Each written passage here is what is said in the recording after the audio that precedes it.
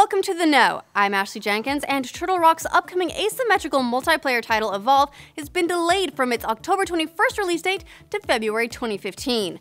The delay was announced in Take Two Interactive's earnings call today, and no specific reason was given for the move of several months, beyond noting that it would give the developers more time to polish the game and called February a favorable release window.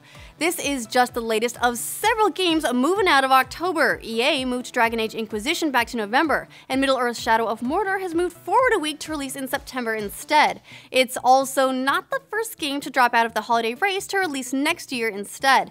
The Witcher 3, Battlefield Hardline, The Order 1886, and Batman Arkham Knight were all due to release this season and have slipped to 2015 as well.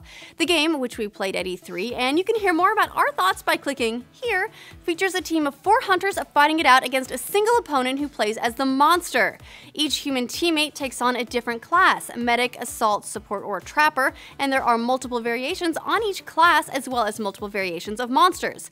So far, we've seen two variations for each character, but Turtle Rock has confirmed the game will launch with at least three, so we can fill the suddenly much longer wait for the game anticipating the final character reveals.